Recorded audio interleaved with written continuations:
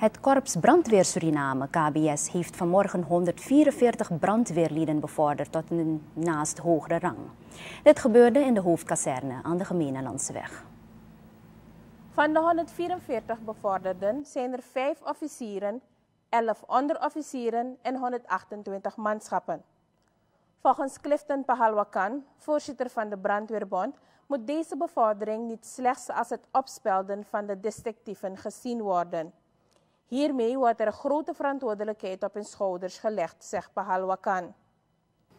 U zult meer dan voorheen moeten aantonen dat u daadwerkelijk in staat bent om samen met de totale brandweerfamilie onze organisatie naar een hoger en professioneler niveau te tillen.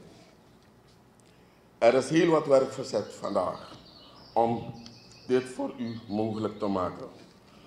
Dit bestuur zal het goede werk verricht door elk van u steeds blijven schragen en waar nodig uw belangen op een correcte manier behartigen en verdedigen.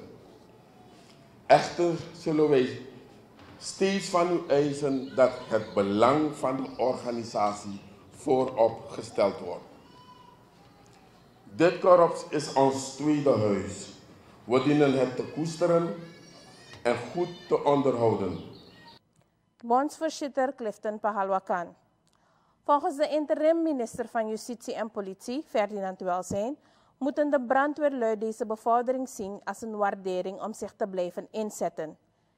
Dit moet volgens de bewindsman ook een stimulans zijn voor anderen die nog bevorderd moeten worden.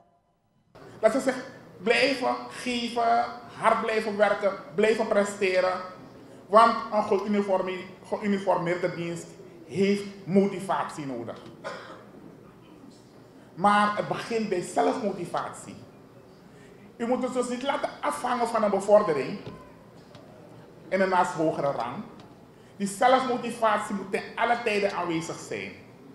En wat we proberen te doen, is dat dit soort kleine dingetjes, een bevordering, het moet geen automatisme worden, maar een bevordering is belangrijk.